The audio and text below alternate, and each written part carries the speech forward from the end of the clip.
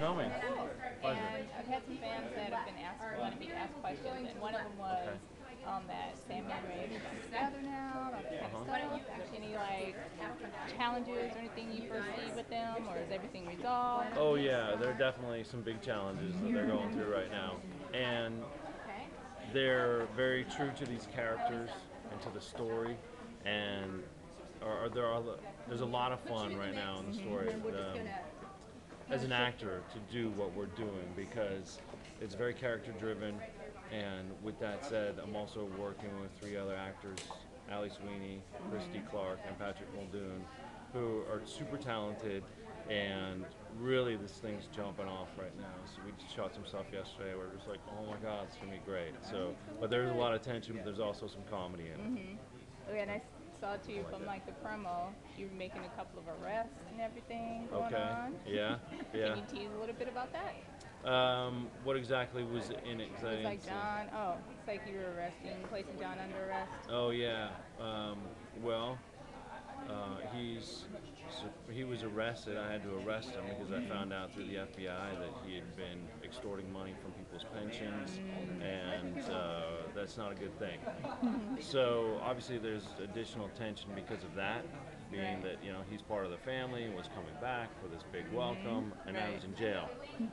not a good day in Salem, not for him anyway. So uh, it's complicated, and also with these other couple characters, with Patrick and Chrissy coming back, um, they're on opposite sides of the fence too. So uh, it's really interesting. It Should be good. Yeah. Yeah. Well, you've got all these pages of dialogue and all that kind of stuff. How do you? rehear- What's your process for trying to learn everything?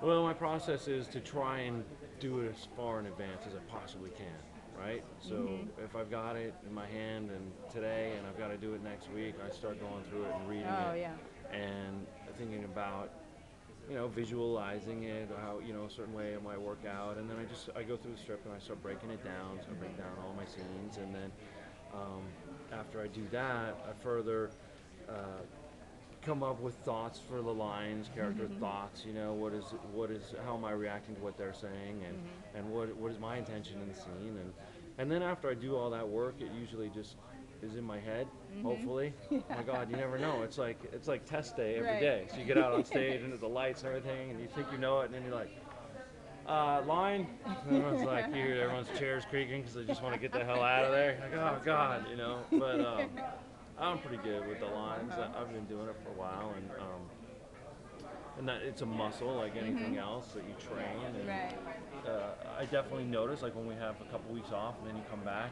the muscle's not as strong. It's a little out of shape, and uh, and you get back into it. So usually when I have that time off, I'll put some more extra time in, knowing that I'll need it. And Yeah.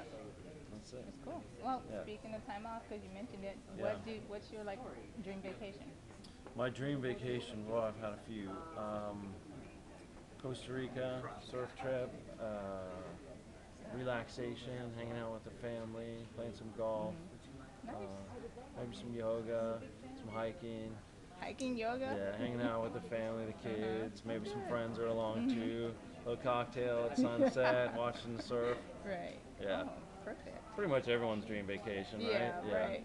yeah. Um, Um, we stayed at this awesome place years ago in Tahiti, and there were these over the water, over water bungalows. I hear and it's so literally, beautiful. I've never oh my been. god, it was mind blowing. And then at night, you have the lights that light up the water, and it's just like a giant fish tank. Nice. I got some hot dogs or something. I put it like a, they have like a sewing kit in the room, and I Uh-huh. threaded it, and Oh, sharks funny. came and manta rays. It was awesome. yeah, that was pretty cool. Oh, wow. Yeah. That's good. Yeah. So uh, I'd do that one again. That's a good one. Good one. Cool. That's. Look forward to seeing the new days. Yeah, yeah, you should. really cool. Yeah, that's good. I think so. It's really the excitement's definitely palpable. Mm-hmm. Um, they're investing a lot of time, effort, money Yeah. into this. No, and that's great. I think it's gonna be good. Cool. I'm enjoying it. Good deal. Thank you so much. My pleasure. It's nice to meet you. Nice to meet you as well. Thank you.